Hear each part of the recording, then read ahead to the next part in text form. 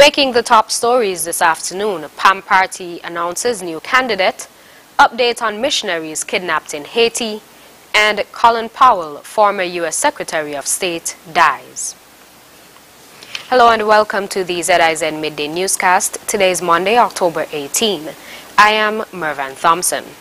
Nationally, Lawyer and East Basseterre resident Natasha Shani Gray has been announced as the People's Action Movement's newest candidate for Constituency 1. She assumes the role from Ambassador to the UN, Ian Liburd. The announcement made by party leader Shawn Richards came on Monday at the Royal St. Kitts Hotel in a, at a press conference. Richards said after fielding a number of applicants for the position in June, it was decided that Natasha Gray would be the next candidate. He added that he is proud of Gray's achievements, noting some of her accomplishments, which include becoming an attorney at law and her philanthropic, philanthropic efforts in the East Basseterre community with her book club for children. Gray is now the first woman selected to represent Constituency 1. On the heels of the donation of two field hospitals, the Federation is poised to further benefit from the U.S. Southern Command, or U.S. Southcom, with the construction of emergency operation centers and other, another Bureau of Standards facility. During the handing over ceremony last week of the field hospitals, National Disaster Coordinator Abdias Samuel made mention of the request for the Emergency Operations Center shelters that are earmarked to be built in Sandy Point and Tabernacle.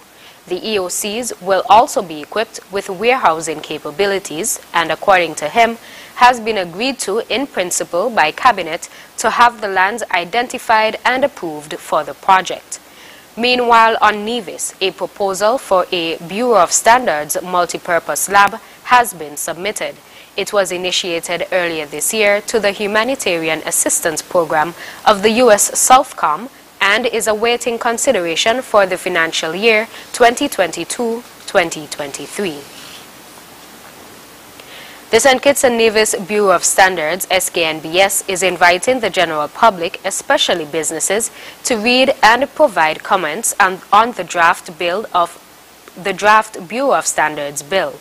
It is significant as it sets the foundation for a national quality infrastructure, NQI, which will be used to guide the production of local goods and services based on agreed standards that follow international benchmarks. The standardization, accreditation, metrology, and conformity assessment, which includes testing, inspection, and certification of these goods, will be assessed. The bill will permit the inspection of establishments that sell goods and commodities in the country. Such inspections may include checking for labels as well as testing of commodities to ensure they conform to certain regulations.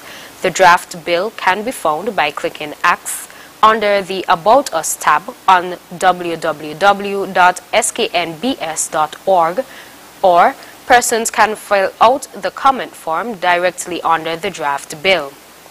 The deadline for receipt of comments is November 8, 2021. Comments can also be sent to sknbs at gov.kn or if persons have questions, they can call 467 1498.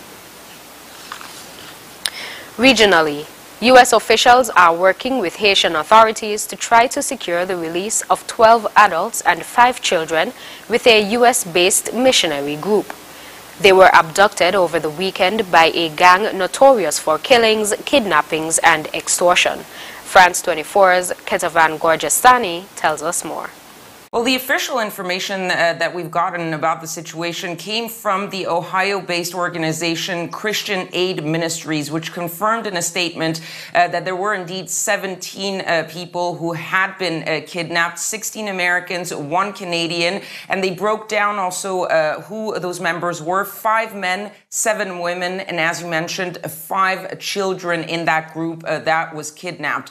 so far, from U.S. officials, there's been very little uh, comment. The only official comment that we've gotten came uh, late on Saturday night from the State Department, who simply said that they were aware of the reports of the kidnapping, uh, but they didn't confirm uh, the uh, kidnapping itself, and they refused to give any more uh, details. same silence coming from the White House. It was actually the Haitian officials who said that they were actually in contact with officials from the State Department, but then there again, we have very little information as to how much involvement there is from uh, the U.S. Uh, side. Uh, very little also is known about the circumstances of this kidnapping. There has been this report coming from the Washington Post that got a message from one of the people that was kidnapped, a message sent to a WhatsApp group in which that person says, We are being held hostage. They kidnapped our driver. Pray, pray, pray. We do not know where they are taking us, and that is also uh, one of the big unknowns of the situation: is where exactly uh, those 17 North Americans have been taken, where they're being held, and whether there has been any ransom demands either from the Haitians or from the Americans. The chair of the Venezuelan opposition's negotiating team at talks with the government urged President Nicolas Maduro's administration to resume dialogue as soon as possible after the government suspended its participation this weekend. Reuters has more. Talks meant to resolve the crisis in Venezuela faced a new setback this weekend. Negotiations were put on ice by President Nicolas Maduro after one of his aides, Colombian businessman Alex Saab, was extradited to the U.S. Now, opposition negotiators are urging Maduro's government to come back to the table. The deep humanitarian crisis that is affecting our people, the millions of Venezuelans who have had to emigrate in search of a future that the country does not provide, as well as the non existence of democratic institutions that follow the constitution, cannot wait any longer. Dozens of protesters called for Saab's release on Sunday, including his wife. Maduro's ally was extradited from Cape Verde on Saturday on corruption charges stemming from 2019. Saab had been under arrest in the African nation since last year. But just last month, Venezuela's government named him one of their negotiators in talks with the opposition. His inclusion in the team was widely seen by Maduro's critics as an attempt to delay Saab's extradition. Maduro on Sunday called it a kidnapping. They sought him out and they removed him with blows from the jail he was held. They took him without advising his lawyers or his family. Nobody. A kidnapping by the United States government of an international diplomat. The Norwegian sponsored talks have so far not made any headway toward resolving long standing divisions. But Norway on Twitter also urged Maduro's government to return to talks, saying it was the only solution. A majority of Venezuelans have been plunged into poverty, suffering gasoline shortages and frequent power blackouts millions have emigrated in search of work and better living conditions.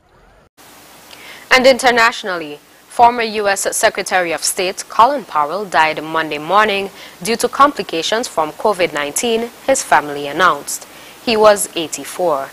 We hear more in this Sky News report got a bit of breaking news we could bring you. Um, this is coming uh, from the Facebook page of Colin Powell. Now, he is the former US Secretary of State uh, and chairman of the Joint Chiefs of Staff. Well, according to his Facebook page, he passed away this morning due to complications from COVID 19. Uh, the statement on his Facebook page says he was fully vaccinated. We want to thank the medical staff at Walter Reed National Medical Centre for their caring treatment. We've lost a remarkable and loving husband, father, grandfather, and a great American. That from the Powell family. Uh, Colin Powell, uh, retired four star general. Uh, he served as the 65th United States Secretary of State from 2001 to 2005. And he was, of course, the first African American Secretary of State. Uh, before uh, the election of Barack Obama as president, uh, Colin Powell and his successor, Condoleezza Rice, were the most highest ranking African Americans in the history of the federal executive branch. Um, he also served as the uh, National Security Advisor for the States and as the Chairman of the Joint Chiefs of Staff. Uh, he had uh, retired recently, um, and in his retirement, he wrote his autobiography, uh, but he was still uh, carrying out uh, public speaking addresses across the country and abroad, and was also Chairman of America's Promise, which is a, a non profit organisation to try to help. Mobilise people from um, every sector of American life to build their character and competence. So there will be many tributes undoubtedly coming him, into him in the current minutes and hours. But for now, all we have is the information from his Facebook page uh, that General Colin Powell, the former US Secretary of State and Chairman of the Joint Chiefs of Staff, has passed away due to complications from COVID 19. At least 19 people have been killed after heavy rains caused landslides and flooding in, the, in India's Kerala state. It is the worst flood since 2018 when more than 500 people were killed. Teams from the National Disaster Response Force are working to save those still in danger. Al Jazeera's Leah Harding reports now. Streets turned into rivers entire hillsides appearing to melt under heavy rain. The rain from the top has accumulated here. The water has entered our veranda and our house. It has been raining continuously since morning. Such heavy rainfall in the Indian state of Kerala was unexpected and has claimed several lives. Soldiers have been flown in to help with rescue efforts. This team is trying to reach others trapped beneath shifting mud, while this fruits and vegetables vendor does what little he can to save his business. At around 3:30 or 4 p.m. water started rising and most of our stuff was damaged. We managed to save some vegetables like onions, but most of our vegetables have been destroyed. The monsoon season ended in September, and after months of heavy storms, locals were not expecting another one, bringing such wet conditions. Farmers here rely on rains to produce crops, but too much creates problems like waterborne diseases. While the cleanup and rescue work goes on, the waters are slowly starting to recede. Leah Harding, Al Jazeera. And now for the weather. The temperature is 29 degrees Celsius or 82 degrees Fahrenheit. Present weather is fair. Winds are a light breeze of 4 miles per hour from the north. Seas are not exceeding 1.2 meters or 4 feet. Weather forecast for today is partly sunny, then becoming increasingly cloudy with a 70% or a high chance of showers with a 20% chance of th thunderstorms. Tonight will be fair to partly cloudy with a 20% or a slight chance of showers. Sunset today will be at 5.47 p.m. and sunrise tomorrow at 6.05 a.m. That brings us to the end of the ZIZ Midday Newscast. Join us this evening for these stories and more in detail. Thank you for tuning in. I'm Mervan Thompson. Have a great day.